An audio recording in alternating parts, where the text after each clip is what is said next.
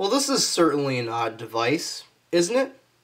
Well, as you can tell, it must come from China, since it's got the uh, characters right there. I don't know what language this is offhand. I'm not much of a character expert. If anybody would like to fill me on in on that, that would be great. I'm assuming it's Chinese. I'm not too, too sure. It could be something else. I just don't know. now, as you can tell, it is a fire alarm because it says fire at the top right here. I guess that's legitimate. I think that's fire in Chinese. I'm not too sure. If anybody would like to fill me in on that, that'd be awesome. Now, as you can tell, it does look a lot like a SpectrAlert. Let me pull a real SpectrAlert to the left right here. As you can see, you got strobes on the bottom. You got the horn right here. And you got this design right here. The, uh, the grill. Just a bunch of lines going across. I don't know if that's like anything too original. And you got your English fire marking on the top. Now, there's a few similar differences as well. There's on the SpectrAlert, there's fire lettering on the sides, as you can see right here. However, on the Chinese device, there is no fire lettering on the sides. Right there. Let's take a look at the device, shall we? Alright, so let's flip it over to the back. Okay, so there's not really too much interesting things going on back here. This is a screw, but that doesn't really do anything remotely spectacular other than open up the alarm itself. Easy to service, I guess. Alright, so what these do, these little covers here, they pop off. They reveal some terminals right there. I'll bring the device closer so you can see it.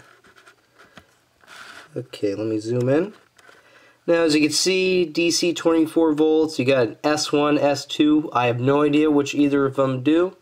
So I guess it's going to be like a 50-50 chance or something. Now, this is your tone selection switch. Again, I have no idea which any of this stuff does. So, hopefully you can get a better look at that. Okay, so here's the back. Now how this device mounts, you got this mounting kit right here. It's part of it. Now interestingly enough, this mounts to a horizontal American back box. Uh, I don't have one on me right now, but I've tried it before and it fits. You just gotta put the box horizontally. You just mount the screws into these holes right here. So basically what you do, you just stick the back box this onto the back box per se. This, this is facing up. And what you do is stick the device on. Now let's just assume this is on the wall or something. You put screws into these two screw holes here and it's secured to the wall. So let me just take that away. And there you go. There's not too much more else to it that I could think of. Now the moment of truth. How exactly does this alarm perform? What does it sound like?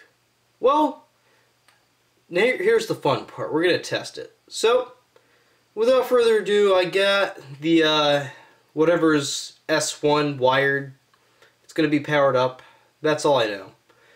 So, it's a 50-50 chance. It could be the horn, it could be the strobe. So, three, two, one.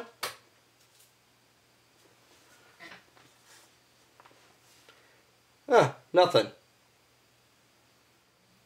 Okay, now I got the uh, the wires onto the 24 volt DC one, and if you've been watching this video, it's this one right here, these two. Now I got these wired up correctly.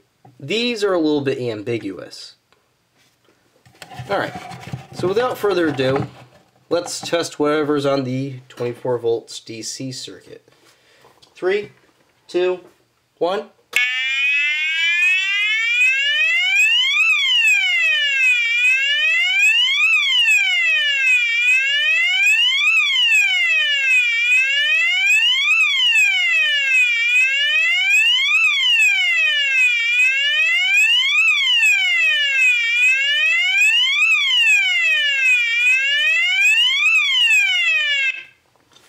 That's very loud.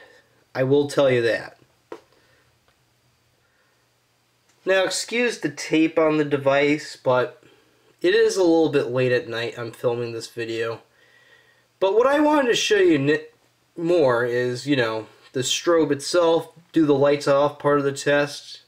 Now you might have noticed the strobe is not very bright at all. I'd say it's a lot dimmer than the older Wheelock WST series or whatever's on the 7002T series.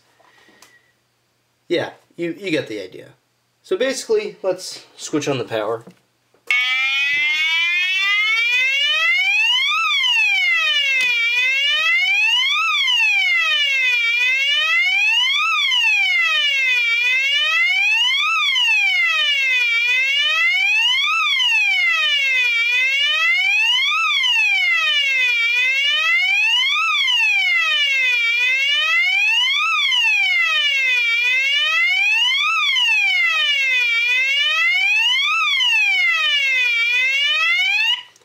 That's enough of that.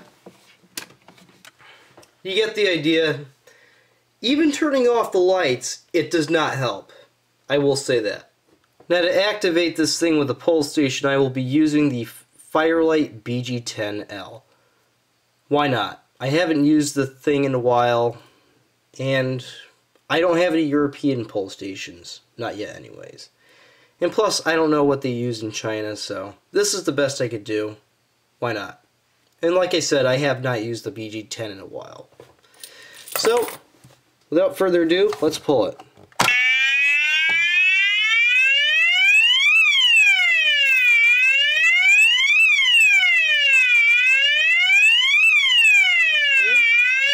reset this because this is loud.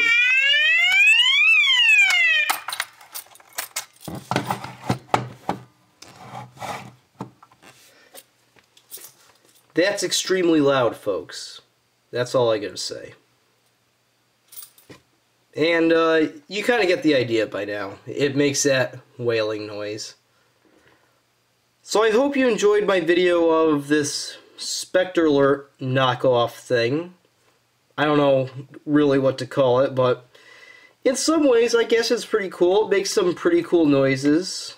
Uh, so yeah, I don't have too much else to say about it other than, you know, it doesn't have a very high candela strobe, so... Anyway, some of you have wanted to see this alarm, and hopefully I brought this alarm to you the best way as I can. I'm sorry, you know, I kind of cut the blasting short, but it's a little bit late at night. I'm filming this, so there you go. So anyways, I hope you enjoyed the test, and that'll be it.